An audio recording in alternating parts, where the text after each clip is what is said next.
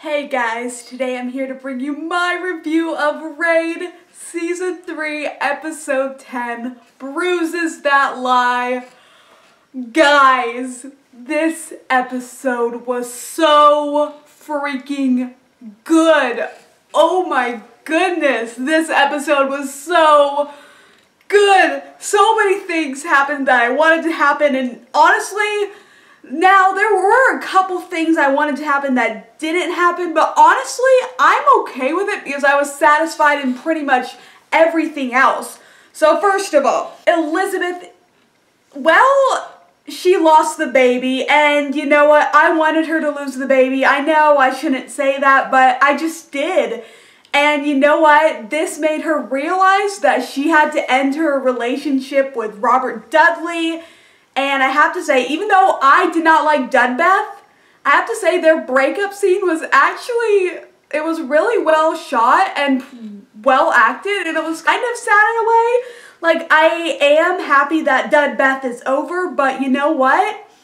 Their breakup scene was heartfelt and sweet, but with all that happened, I think that Elizabeth is finally going to become the queen I've wanted to see since the beginning of season three. Just please, I hope we see the queen that we all of us fans wanted to see. Just and I'm so excited to see what happens next. It was nice to see Lola again. She barely had any screen time, but I didn't mind it. Charles. Charles was so intelligent with everything that happened with Narcisse and Catherine and Claude and all that. Just, he was so intelligent in this episode. I loved it. I love when characters do smart things. I just love it. I love it so much. The Mary Gideon scenes were fantastic. Basically, Mary ended up finding out that Gideon was sent by Elizabeth to seduce her, and she was like, you know what?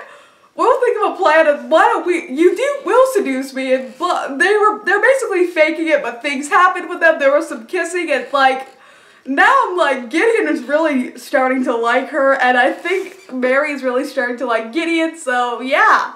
So and also yeah once again their scenes were great. Also their one one scene together when Mary walked in on Gideon like being angry and hitting hitting things with a sword.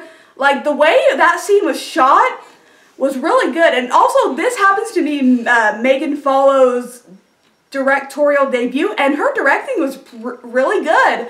It was really solid. Um, it's not, you know, it's not like the most amazing directing I've ever seen, but it was really good for Reign. And bravo, Megan Follows. Hopefully she has a chance to direct another episode. Maybe she should uh, direct the season three finale. That would be great. So yeah.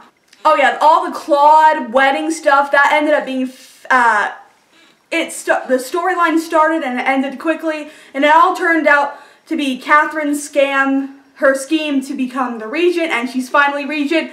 Finally, because you know what, it wasn't working out with Narcisse and he was being stupid. So even though I love Narcisse, I'm glad he's not regent anymore. And Catherine needed to be regent. Hey, but uh, Narcisse is still alive, so I'm very happy about that. Also, I'm really happy about him going back to his old self, but he didn't take things too far, and he's still alive. So you know what?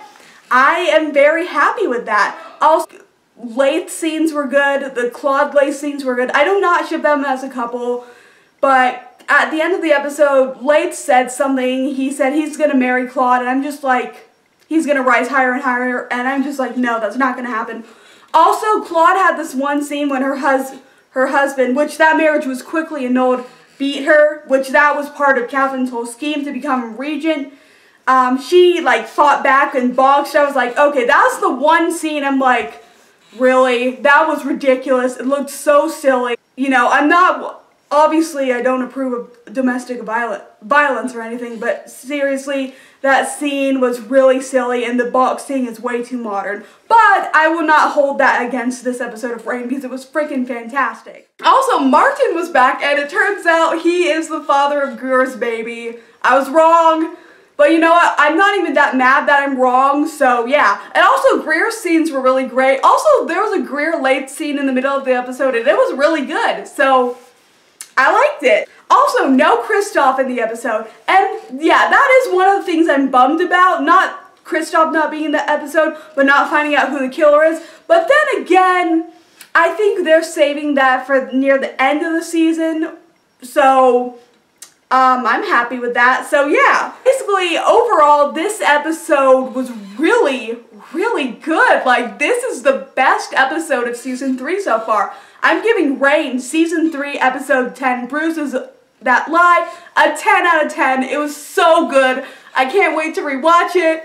And yeah, I'm really sad that we have to wait till spring for Reign to come back, but it'll come, but by spring they mean sometime either in March or April. So, yeah.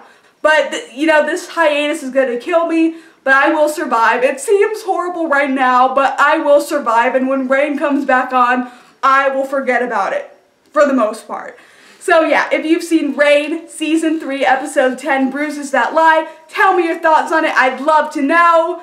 And yeah, I will see you guys in my next review. Bye.